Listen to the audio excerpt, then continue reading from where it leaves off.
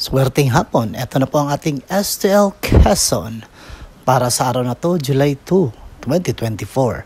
Tuesday, second draw result.